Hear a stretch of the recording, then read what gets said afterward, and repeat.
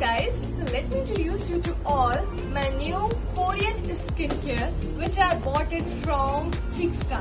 So let's open it and I will show you all my Korean skincare favorites.